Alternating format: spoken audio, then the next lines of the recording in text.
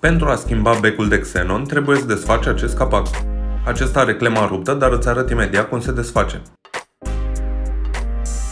Această ureche de prindere trebuie să o deblochezi ridicând-o cu o șurubelniță subțire sau ceva similar, pentru că dacă apeși pe ea, nu se deblochează și se poate rupe. După cum se vede, dacă apeși, ea nu se ridică. Pentru a scoate becul, trebuie să apeși pe aceste două siguranțe și să le tragi afară.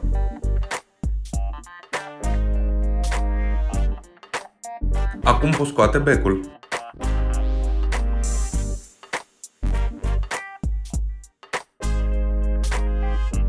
Deconectează mufa.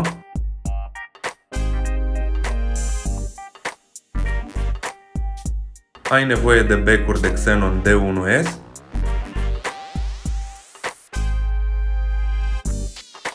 Pune becul pe poziție și agață siguranțele la locul lor.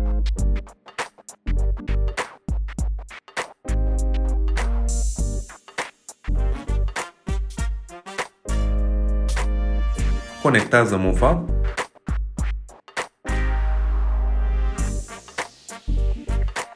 Pune capacul la loc întâi în partea de jos și apasă-l până se clipsează.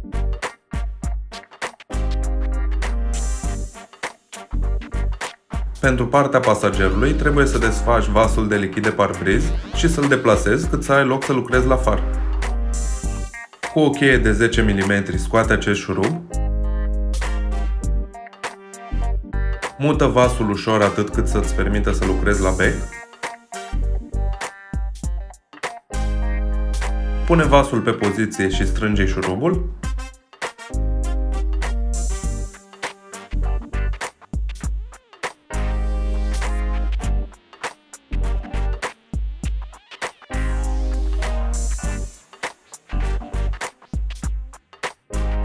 Pune furtunul la locul lui.